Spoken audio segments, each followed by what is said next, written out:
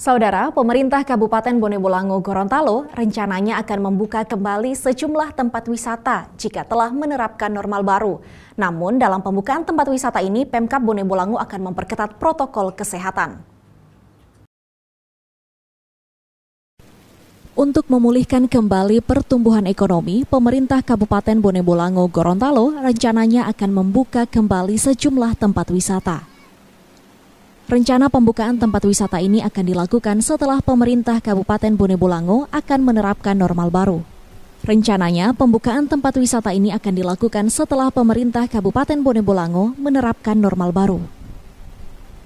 Namun, dalam pembukaan tempat wisata tersebut, Pemkap Bone Bolango akan memperketat protokol kesehatan kepada setiap pengunjung yang datang, salah satunya membatasi pengunjung. Meski demikian, Bupati Bone Bolango Hamim Pou belum bisa memastikan kapan normal baru akan diterapkan di daerahnya. Namun ia berharap tempat wisata di Bone Bolango bisa dibuka kembali setelah penerapan pembatasan sosial berskala besar atau PSBB di Gorontalo berakhir pada akhir bulan Mei.